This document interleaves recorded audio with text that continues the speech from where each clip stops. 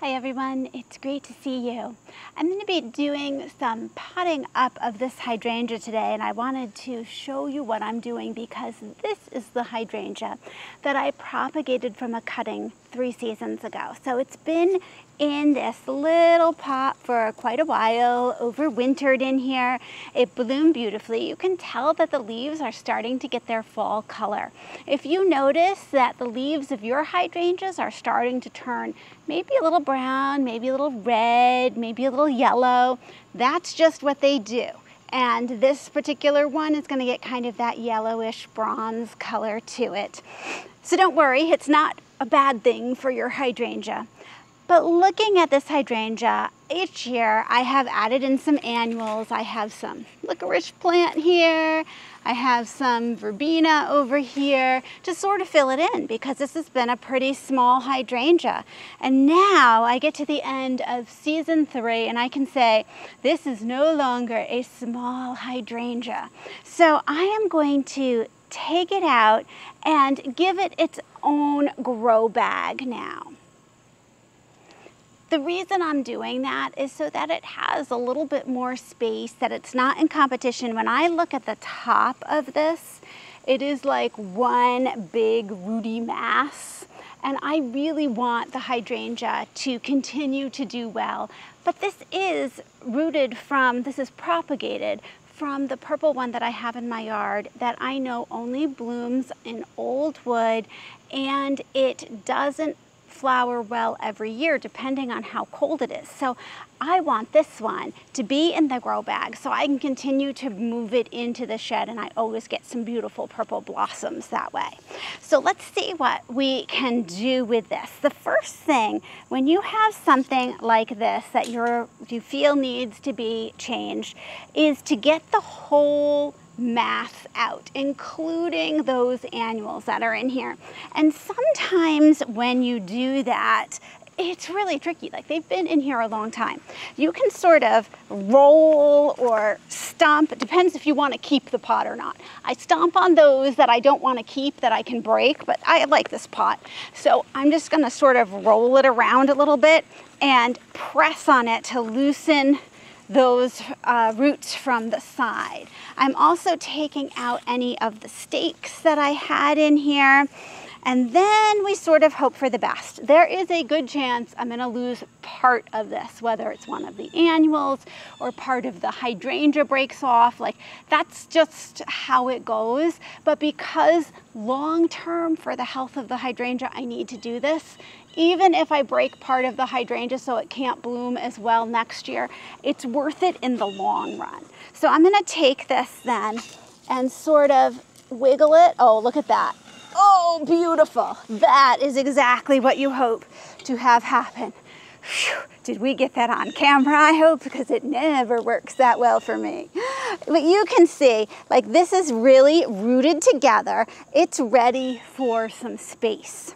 Now you have a choice. If you are wicked strong and wicked lucky, you probably can pull this apart by hand.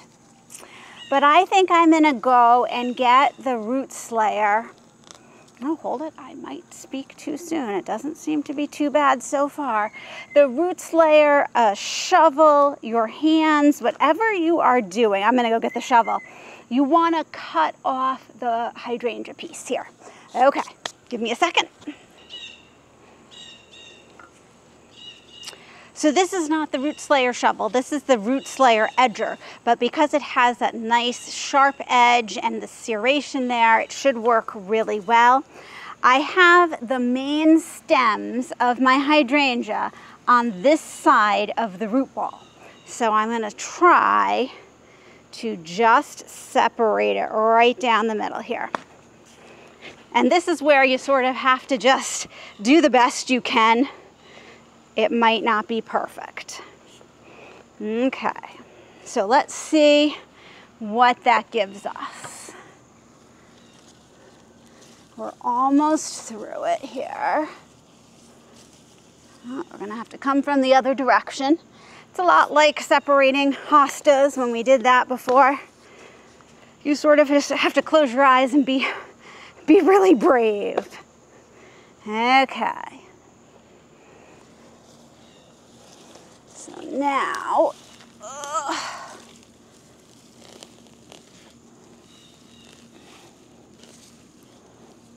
this piece here, there we go. This is the verbena. So it actually is looking really good. I'm thinking that I can use this in another planter. This looks like it is one of the African daisies and the licorice plant. Not doing great, but I could cut this back, probably get some more blossoms and another planter for that. Let's see what else we have. And this is what I'm talking about, how you're gonna get some casualties. Like you just don't even worry about this. Some of it came off, but it's not bad. Then I have my big piece here. So primarily it is the hydrangea. We have one annual stuck on here. This looks like it is some type of calibrachoa. Looking really good though. We can put that in something. Okay, let's get to the hydrangea. A few weeds down the bottom. Uh, this looks like it's part of an annual here, and I don't want that. So I'm going to sort of cut that off. But it's kind of close, so I'm not gonna go all the way through, just a bit. There we go. Let's see how that worked. Yep, there we go. That looks like it's another piece of the verbena. So some of this, I'm not sure how much of the roots are leftover roots from the annuals and how much is the hydrangea. I'm gonna keep as much together as I can. The worst thing that happens is some of these grow back, some of the annuals, but I don't think that'll happen. This looks pretty good. Okay. I have already put in some watered potting mix here. So this potting mix had been sitting in the shed for quite a while. It was really dry. If that happens, you do want to moisten it before you add anything else in here. And you can tell, I mean, this is, this isn't a bad size root ball, but it's not going to fill up the whole piece here, this whole bag. So that's kind of good. It's going to give it some space to expand. I'm going to nestle it in and I want it to come up pretty much to the top of the grow bag and I want it as centered as I can. And that can be kind of tricky because coming from that other planter, it was growing on one side more than the other. So it's going to be hard to get it to look really straight. Hopefully I can sort of um, make it work better next year as it comes up. I'm gonna put some potting mix here. Okay.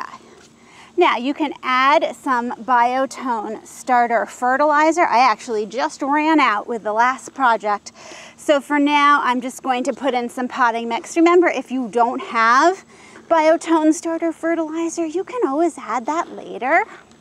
Or you can give it a little Osmocote in the top, some type of time release fertilizer like that is fine.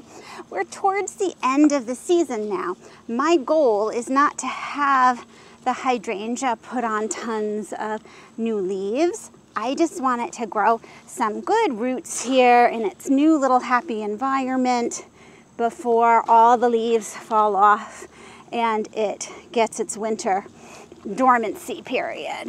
Okay. Oh, I think I'm just gonna have enough potting mix, yay. I feel like at the end of the season, we're using everything up. It's like the last of the fertilizer went in, the last of the potting mix. But in a way, that's good because I don't want to have too much left over. I always end up using more potting mix than I think I'm going to. Okay, the hydrangea is attacking me. A Little straighter. There we go. When my hydrangea are small like that, when I've propagated them, I really like to put other things in with them. It sort of just makes it, you know, look less sad than just this little tiny hydrangea. But at this point, this is what you, the size you'd be buying in the store. So it should be just fine on its own. Look at that. Okay, so This is just gonna go in the garden like this. I'm gonna keep it watered. I'm gonna wait until December 1st um, when the leaves should have defoliated from a hard frost. And then it goes into the shed and I keep it there through the winter till May 1st. So let's go find a place for it in the garden right over here. I'm using back by the deck, sort of behind the daylilies that I have cut back as a hydrangea holding place for some of these that are being potted up now.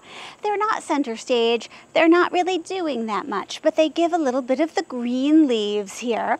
And this allows me to have my grow bags that are in planters somewhere else have something more fallish that's currently in bloom.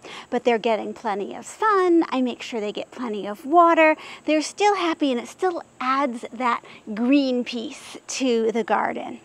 So I'm really happy with this and I'll go find some other place to put the other things that were in that planter, but we should be good. Thanks so much for joining me and I'll see you in the next video.